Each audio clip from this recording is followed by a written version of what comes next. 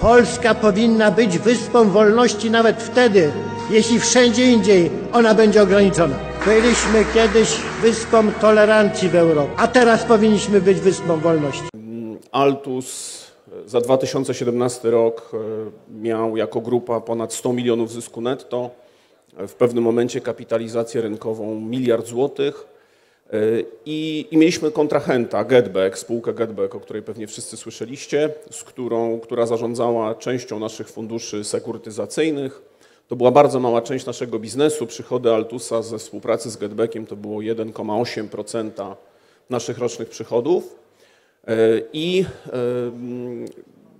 sprzedaliśmy Getbackowi spółkę EGB notowaną na, e, na giełdzie w 2017 roku, jeszcze przed wejściem Getbacku e, na giełdę. Sprzedaliśmy ją za 207 milionów. Nasze akcje i potem Getback wszedł na giełdę, zrobił prospekt emisyjny obligacji, prospekt emisyjny akcji, zatwierdzony przez KNF, wszystko opisane w, w prospekcie emisyjnym informacje e, oczywiście publiczne, e, sześciomiesięczne due diligence, prawne, finansowe, renomowanych instytucji finansowych. Sto oczu patrzyło na tą transakcję, nie było żadnego problemu, taki powiedziałbym full disclosure. No ale, e, ale rok później Getback wpadł w kłopoty płynnościowe. Spółka otworzyła postępowanie restrukturyzacyjne i 31 sierpnia 2018 roku do mnie o 6 rano zapukali panowie z długą bronią. Zostałem zatrzymany, aresztowany i postawiono mi zarzut działania na szkodę Getbacku w taki sposób, że działając w interesie zarządzanych przeze mnie funduszy, funduszy Altus TFI i klientów Altusa, sprzedałem spółkę za drogo. Nie będąc w żaden sposób nigdy zobowiązany do dbania o interesy Getbacku, E, nie byłem ani członkiem Rady Nadzorczej, ani zarządu, ani żadnego komitetu. Byłem tylko i wyłącznie zobowiązany do dbania o interesy funduszy Altusa i klientów Altusa. Niemniej jednak, e, cokolwiek jakby dla mnie to, to, to do dzisiaj jest absurdalne, ale, e, ale dla, dla prokuratorów, dla polskiego wymiaru sprawiedliwości, bo on nie ma nic wspólnego z faktycznym jakby sprawiedliwością, to jest jakby przestępstwem to, że się e, rzekomo sprzeda spółkę za drogo. Znaczy, mówię rzekomo, dlatego że, e, że e, ta spółka była tyle warta. Natomiast no i zostałem zatrzymany 31 sierpnia 2018 roku. Przesiedziałem trzy miesiące w areszcie. Sąd Okręgowy w Warszawie wypuścił mnie za rzeczywiście rekordowym poręczeniem 26 osób, e, instytucji i osób fizycznych e, i to poręczenie e, miało wartość 108 milionów złotych.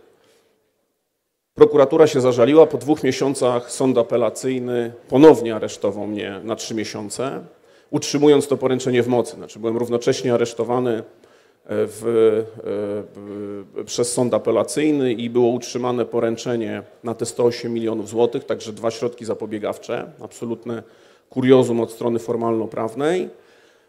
No i kolejny sąd e, okręgowy trzy miesiące później postanowił, że jednak mogę wyjść na wolność i znowu wyszedłem na wolność. Znowu spędziłem dwa miesiące na wolności w, domu w Warszawie i znowu prokuratura się zażaliła i w czerwcu 2019 roku zostałem po raz trzeci aresztowany za to samo, bez żadnych nowych zarzutów, bez żadnych nowych okoliczności, cały czas w związku z tym, że rzekomo sprzedałem spółkę za drogo, podpisując się pod umową, działając w interesie moich funduszy.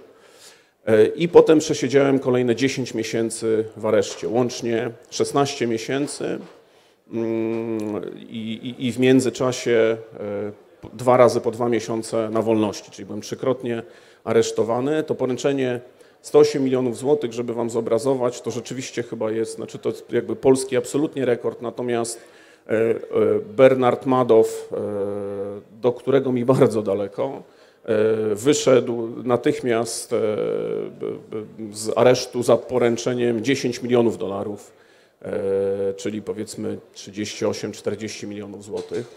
No ale w, w Pols dla polskiego wymiaru sprawiedliwości jakby widocznie te kwoty nie miały znaczenia wielkiego i, i liczba tych osób poręczających za mnie. Finalnie wyszedłem na wolność w, e, w kwietniu 2020 roku. Sprawa jest, jest, jest, jest absurdalna. Jestem, jakby mam status podejrzanego, nic się nie dzieje w mojej sprawie. Ta sprawa jest zawieszona w próżni. Opinia biegłych, która powstała rok po moim aresztowaniu, de facto jest dla mnie korzystna, bo, bo potwierdza prawidłowość wycen sporządzonych przez, przez trzy niezależne firmy, no ale to nie ma znaczenia. W międzyczasie działo się masę niewiarygodnych, nieprawdopodobnych rzeczy, żądania tak zwanego okupu, o, o czym pisała prasa, był taki obszerny artykuł w Pulsie Biznesu w stosunku do mojej rodziny, oczekiwanie 120 milionów złotych i wtedy Osiecki szybko wyjdzie z aresztu. Oczywiście dwa tygodnie po moim aresztowaniu przedstawiciele dużego państwowego banku przyszli z propozycją odkupienia za grosze moich akcji Altusa i moich wspólników i, i sugerując, że, że wtedy dosyć szybko będzie rozwiązany temat aresztu. Także to, to, to, to, to takie, powiedziałbym, bardzo standardy wschodnie. Natomiast no, no ta cała sytuacja rzeczywiście zniszczyła moją firmę, bo, bo Altus z kapitalizacji miliard złotych spadł do dzisiaj 80 milionów z aktywów, którymi zarządzaliśmy 18 miliardów. Dzisiaj w grupie Altusa tak naprawdę w, w ramach jakby Rockbridge TFI zarządzamy aktywami na poziomie 2,6-2,7 miliarda. Cały czas walczymy z Komisją Nadzoru Finansowego o odzyskanie licencji. Nie mamy finalnej decyzji dotyczącej zabrania nam licencji. Cały czas jest ona odraczana i odsuwana w czasie, także, także walka trwa. Dzisiaj jest tak, że walczymy na wszystkich frontach i, i, i rzeczywiście walczymy z tym systemem, który jest bezlitosny i od strony takiej osobistej, no bo to oczywiście mnie dotknęło, dotknęło potwornie moją rodzinę, i, ale też, też od strony finansowej, to znaczy mi został zabezpie zabezpieczony praktycznie cały majątek i, i, i, to wszystko jest w zawieszeniu. To trwa miesiącami, latami, bez żadnych tak naprawdę szybkich perspektyw na rozwiązanie tego, jakkolwiek ja bym chciał, żeby te sprawy natychmiast wszystkie mogły ujrzeć światło dzienne. Też siłą rzeczy nie mogę o wszystkim mówić, bo cały czas mam status podejrzanego, nie oskarżonego, ale podejrzanego. W związku z tym szczegóły tej sprawy są objęte tajemnicą.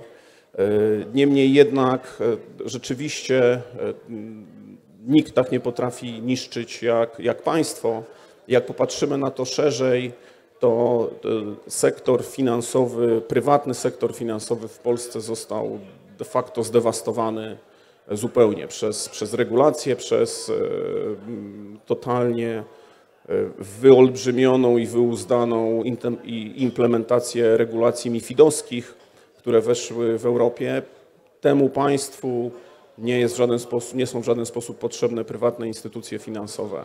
Także one są, ja tak to czuję, wrogiem i, i, i są po tej złej stronie mocy. Ja bym powiedział, moje kłopoty zaczęły się od tego, jak wygraliśmy przetarg jako Altus na zarządzanie portfelem stabilizacyjnym Jastrzębskiej Spółki Węglowej rok wcześniej jeszcze. I, I, ktoś wtedy przyszedł do mnie i powiedział, trzeba było przegrać ten, ten przetarg, bo, bo, bo w ostatniej fazie Altus wygrał z dwoma potężnymi państwowymi instytucjami finansowymi, państwowymi TFI i, i rzeczywiście chyba trzeba było nie dotykać tego. To tak mówię trochę przekorą, dlatego że ta branża jest bardzo kompetytywna i, i, i pewnie jakbym cofnął czas, to bym niczego nie zmienił. Dzisiaj w jakimś sensie jestem dumny z tych zarzutów, których które mam i jestem dumny z tego, że jestem po drugiej stronie barykady w stosunku do, do tych, którzy, którzy mówią, że jest przestępstwem to, że działając w interesie zarządzanych przeze mnie funduszy ja coś sprzedałem za drogo. Mógłbym opowiadać godzinami o tym, pewnie nie o to chodzi, tak już jesteście zmęczeni. Jak są jakieś pytania, a będę mógł odpowiedzieć, to, to bardzo proszę.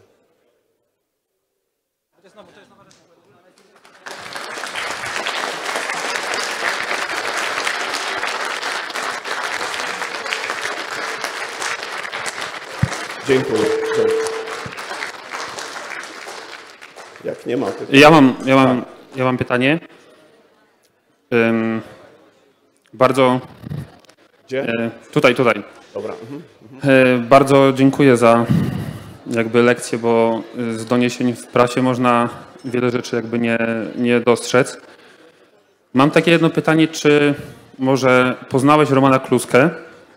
E, I drugie, jak to jest, że u nas jest tak trudno, a na przykład BlackRock, Larry Fink jakoś stabilnie wzrasta, jakby czy on wygrał z jakimiś takimi zastraszaczami, czy, czy po prostu my jesteśmy skazani w naszej tutaj, yy, w naszym terytorium geograficznym i, i co masz do powiedzenia młodym, którzy wejdą w twoją ścieżkę i też nie będą żałować, ale będzie ciężko. Dziękuję. Dzięki. Dzięki za to pytanie. Absolutnie nie chcę się porównywać do, do Romana Kluski. E, Znacie tą jego historię e, z, z przeszłości. E, Są w mojej historii te, te jakby bardzo podobne elementy, bo, bo, bo ta niemoralna propozycja rozwiązania moich kłopotów tu- tuż po moim aresztowaniu i, i, i współpracy z w dziwny sposób z prokuraturą i oddanie akcji Altusa. Szczęśliwie to wszystko jest udokumentowane, także przyjdzie czas na to. Ja marzę o, troszkę tutaj wejdę na, na, na pole polityczne, marzę o komisji śledczej tak naprawdę kiedyś, żeby to wszystko pokazać, wyświetlić. Tak jak mówię, te rzeczy mamy doskonale ud- udokumentowane, e, bo się nauczyliśmy od, od drugiej strony tego, jak, e, jakimi metodami oni walczą.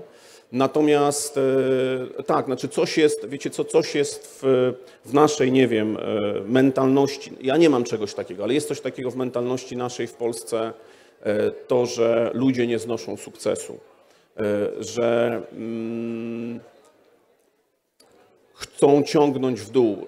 I oczywiście to, to, co mi zrobiono w jakimś sensie, to zrobili mi moi koledzy, również z branży, z, z mm, pokrewnych instytucji finansowych państwowych. I jestem przekonany, że to ujrzy światło dzienne kiedyś. E, Ci duzi gracze amerykańscy, tak, oni są immunizowani. To jest, e, to, to jest tak, że i, i w jakimś sensie dobrze, no bo, e, bo tak nie mielibyśmy w ogóle żadnej konkurencji na rynku i wszystko byłoby etatystyczne, autarkiczne i, i, i, i moglibyśmy tylko powierzać pieniądze trzem państwowym bankom. Także e, dobrze, że, dobrze, że jest cokolwiek. Natomiast e, co, co radzę innym? Absolutnie nie poddawać się. To znaczy, wiecie co, to ja jestem przekonany, że, że te wszystkie rzeczy są do wygrania.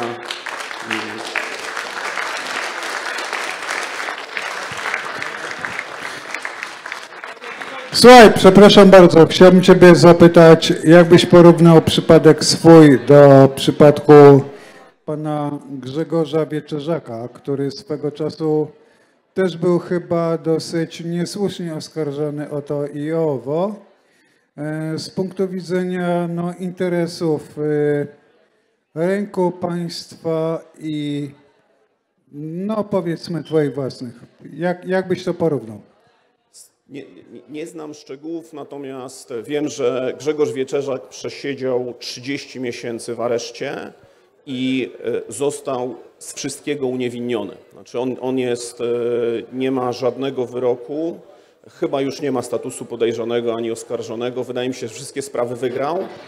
I co z tego, nic z tego. Znaczy w sensie takim, e, mm, ja nie pójdę tą drogą. Ja, ja obiecałem sobie, że, e, że, że dosłownie, e, może zabrzmi to górnolotnie, trochę kłócę się ze swoją rodziną na ten temat, ale wiecie co, ja poświęcę swoje życie, żeby to odkłamać, wyświetlić, pokazać. E, Bo nie może być tak, że prokurator będzie mówił, ile jest jakaś spółka warta i jaki jest standard robienia biznesu w Polsce. To jest, to jest niedopuszczalne. Także.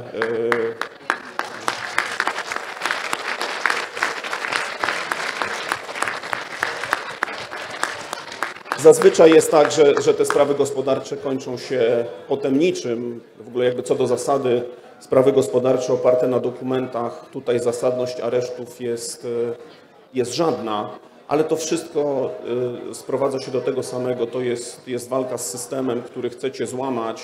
Ja dostawałem takie oferty. Panie Piotrze, Pan byłby tak wiarygodnym świadkiem koronnym, Pan zna tyle osób, Pan mógłby tyle ciekawych rzeczy opowiedzieć. Przecież możemy się dogadać. Nigdy w życiu.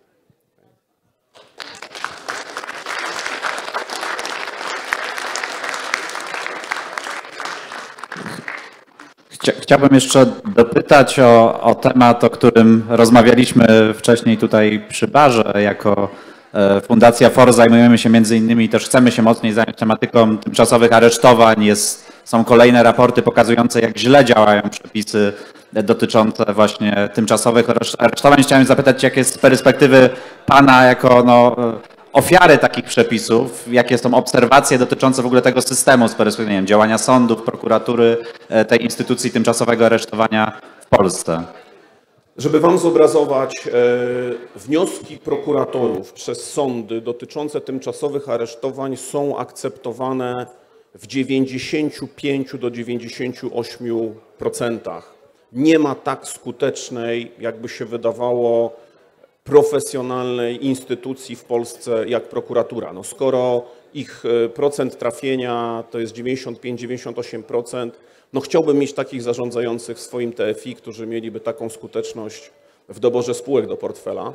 E, także no to, jest, to, to jest absolutnie e, śmieszne w tym sensie, że jest nieprawdopodobne. Taki standard w krajach Europy Zachodniej to jest mniej więcej 60-70%, co najwyżej. To wynika niestety z e, słabości całego wymiaru sprawiedliwości, słabości sędziów, którzy kompletnie nic nie rozumieją.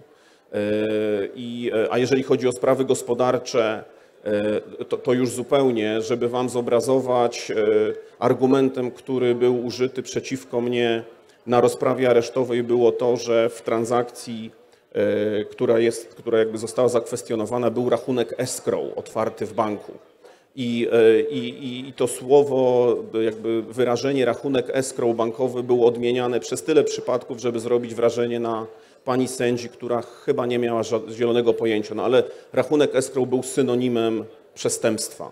E, także e, znaczy, jakby procent, procent akceptowanych aresztów przez sądy no, woła o pomstę do nieba, ale to się nie zmienia i to się niestety nie zmienia na przestrzeni lat te sądy e, również działają w taki sposób, że dają wiarę prokuraturze, czy jakby sędziemu jest dużo prościej zaakceptować to, z czym przyjdzie prokurator. Również dlatego, ja też miałem wyjątkowe szczęście w moich sprawach, e, ci sędziowie, którzy, którzy mnie aresztowali, za każdym razem to byli sędziowie delegowani, czyli tacy sędziowie, którzy E, których los zależy e, tak naprawdę w każdej chwili od ministra sprawiedliwości, natychmiast może cofnąć ich delegację, e, jak na przykład mu się nie spodoba ich, ich decyzja procesowa. Także ten system jest spróchniały i popsuty od środka permanentnie. No. To teraz może ja. Dobry wieczór, Tomasz Gozowski. Y, ja chciałem panu pierwsze pogratulować, y, no i też powiedzieć, że bardzo pana szanuję za to, za wytrwałość przede wszystkim, bo jako praktyk, jako prawnik też mam do czynienia ze sprawami karnymi, szczególnie karnymi skarbowymi, nie karnymi gospodarczymi, ale wiem jaka potrzebna jest wytrwałość dla takiej osoby podejrzanej, czy dla, dla której zastosowano wobec której takiego rodzaju środki zapobiegawcze, jakie zastosowano wobec pana. Także ogromny szacunek. Dziękuję. Ale już przechodząc na taki grunt może bardziej pozytywny, e, chciałem dopytać Pana jako praktyka rynku e, funduszy inwestycyjnych, jakie Pan widzi szanse, mając na względzie bardzo restrykcyjne podejście KNF w stosunku do właśnie towarzystw funduszy inwestycyjnych. Wiemy jak, jak, jak teraz dostaje się po, po głowie tym funduszom inwestycyjnym, tym towarzystwom funduszy inwestycyjnych w ostatnim czasie. Te licencje są cyklicznie odbierane, tak? Mamy kary na rynku. Czy widzi Pan, że ten rynek może się rozwijać tutaj w Polsce? Czy też takie jurysdykcje jak Luksemburg, jak inne państwa Unii Europejskiej będą dla inwestorów bardziej zachęcające, korzystniejsze? Także chciałem poznać Pana zdanie. Dziękuję. Bardzo, bardzo dziękuję za to pytanie, dziękuję za te słowa. E, Ja myślę, że to jest, e, e, że jesteśmy, mam nadzieję, blisko końca tej czarnej nocy, która, która jest wokoło. E, Mam nadzieję, że za rogiem jest, e, jest świt i, e, i rzeczywiście dzisiaj jakby skala agresywności, sankcyjności, represyjności, szczególnie KNF-u i w ogóle regulatorów jest, jest w ogóle bezprecedensowa. Ja jestem z gruntu, wierzę w wolny rynek, także uważam, że, e, że, że przetrwamy to, przeżyjemy i że to się odwróci. Natomiast dzisiaj, e, jeżeli chodzi o, o TFI i domy maklerskie, szczególnie jeżeli chodzi o, o te prywatne instytucje, czy te, które chcą się rozwijać, a nie mają e, wsparcia za sobą potężnych instytucji finansowych, państwowych i państwa, jest potwornie trudno. Znaczy, to, to, jest, to jest tak, że nie było, jestem na tym rynku od 1994 roku i nigdy nie było tak ciężko i nie było tak pod górę, co jest de facto ze szkodą dla klientów, bo, e, bo to, jest, to jest formalnie ograniczanie konkurencji. Natomiast e, e, ja ani, ani moi ludzie absolutnie nie myślimy o tym, żeby się wynosić do Luksemburga. To niech oni się tam wyniosą, no, nie my.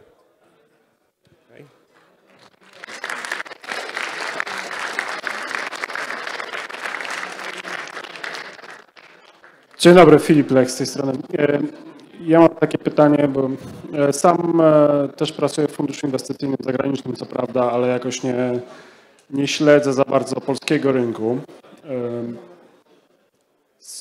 W ramach pracy mam relacje powiedzmy z polskimi funduszami, które można powiedzieć na palcach jednej ręki i spośród nich Dwa w przeciągu ostatnich dwóch lat straciły licencję. E, Prezes jednego wylądował w areszcie na pół roku.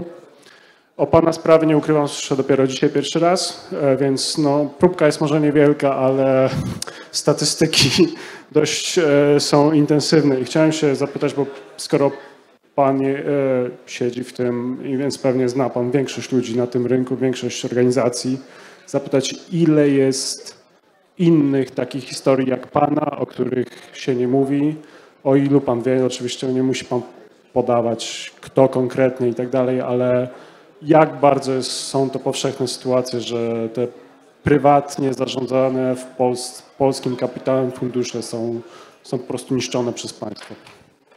Znaczy tych historii jest bardzo dużo. Bylibyście zaskoczeni, e, bo jakby co do zasady dla, dla zwykłych, normalnych ludzi, takich ludzi, którzy nie mają i nie, nigdy nie mieli nic wspólnego z jakąkolwiek przestępczością, trafienie do aresztu e, to jest, e, słuchajcie, to jest, to jest piekło, nie? To jest piekło przede wszystkim e, mentalne, takie osobiste i bylibyście zaskoczeni, że dzisiaj w aresztach Głównie siedzą ludzie za sprawy gospodarcze albo za narkotyki, ale, ale, ale tych, ja bym powiedział, że, że, że bardzo lawinowo rośnie liczba osób, którzy, które mają zarzuty za sprawy gospodarcze. Dzisiaj praktycznie nie można się biznesowo pomylić. E, taka, jest, taka jest logika działań prokuratury, że nie można popełnić błędu biznesowego, bo natychmiast można mieć zarzut albo o działanie na szkodę spółki swojej albo cudzej, e, albo jakąś formę oszustwa, cokolwiek. E, e, Na pewno część z tego jest, jest e, uprawdopodobniona i jestem ostatni, który, mówił, który by mówił, żeby nie ścigać przestępców. Natomiast masę jest rzeczy wynaturzonych i, i przegiętych. Czy dużo jest tego? Tak, jest tego dużo i, i gdziekolwiek się słyszy, to trochę nawiązuje do poprzedniego pytania. Dzisiaj poziom represyjności je- jest zupełnie niespotykany.